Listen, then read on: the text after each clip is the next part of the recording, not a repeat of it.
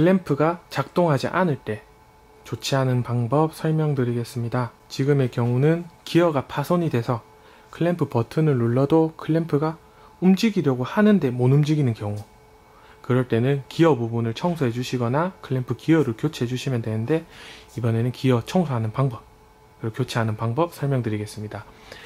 전면에 나사 두 개 풀어서 옥스키 본체를 여는 거는 똑같습니다. 열어주시고 이것 또한 기구부를 만지는 거기 때문에 전원을 꺼주시는 게 좋습니다.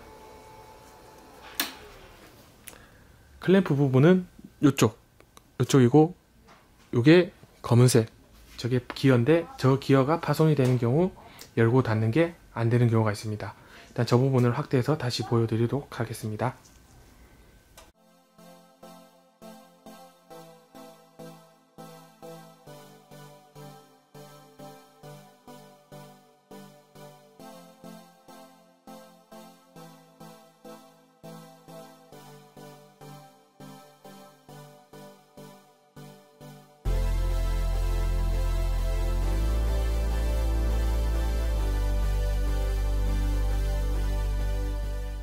여기 육각 나사 4개, 육각 나사 3개를 풀어서 클램프를 분해하시면 됩니다. 이 두 개는 부는 게 아닙니다. 나사를 풀어주시면 클램프 기어 쪽에는 나사가 4개 다 풀어주셔야 되는데 나사마다 와샤가 두 개씩 붙어있기 때문에 와샤 안 잊어먹는 거 주의하셔야 됩니다.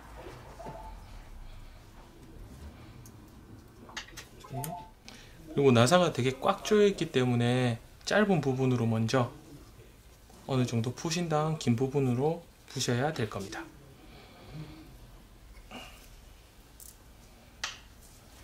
짧은 부분으로 먼저 어느 정도 푸시고 긴 부분으로 풀어주시면 됩니다. 그리고 모터 쪽에 세 개 있는 거는 다 푸실 필요 없고 모터가 움직일 수만 있게 풀어주시면 됩니다. 그런 다음 모터를 시계 반대 방향으로 돌려서 벨트랑 모터랑 분해를 해주시면 됩니다. 그런 다음 이 검은색 플라스틱 기어를 시계 반대 방향으로 돌려서 붙이신 다음 당겨주시면 이렇게 빠집니다. 그런 다음 다시 또 시계 반대 방향으로 문실을 돌려주시면 분해가 가능하십니다. 요 분해한 거는 다시 확대해서 보여드리도록 하겠습니다. 글램프 플라스틱을 빼면 이렇게 되어 있는 거 확인하실 수 있습니다. 플라스틱을 시계 방향으로 돌리시면은 요 사이가 벌려지는 거 확인하실 수 있습니다. 돌려서 푸신 다음에 잘 놔두시고 요 베어링 빼신 다음 잘 놔둬 주시고 요 플라스틱이 파손이 되면은 문제가 됩니다. 요 안쪽에 나사산이 잘 있는지 그리고 반대편에도 나사산이 잘 있는지 확인하시고 파손이 너무 많이 돼서 못 쓸 것 같으면 플라스틱을 교체하셔야 되고 안에 찌꺼기만 빼서 사용하실 수 있을 것 같으면 찌꺼기만 청소해 주신 다음에 다시 베어링을 꼽아 주시고 나사 이 부분도 청소해 주시면 좋습니다. 청소하신 다음에 시계 방향으로 돌려서 조여 주시면 됩니다. 그리고 끝까지 조여 주셔야지 조립이 가능하십니다. 이게 튀어나올 때까지. 이제 다시 조립하는 거 보여드리겠습니다.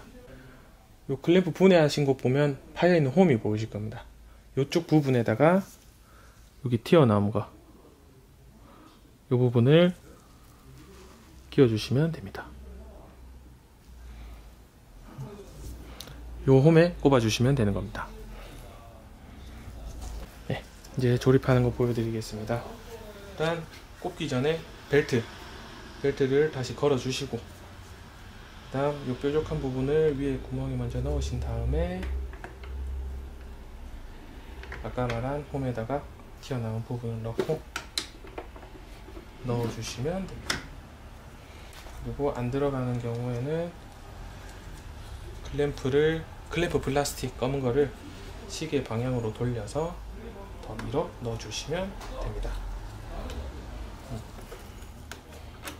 밀어 넣어주시고 그 벨트를 다시 모터에 걸어주신 뒤 검은색 기어에 물려주시고 모터를 시계 방향으로 돌려서 벨트가 땡땡해지게 너무 땡땡하진 않고 요, 요 정도로 땡땡해지게 한 다음 요 벨트에 있는 나사를 먼저 아 모터에 있는 나사를 먼저 조아주시면 됩니다.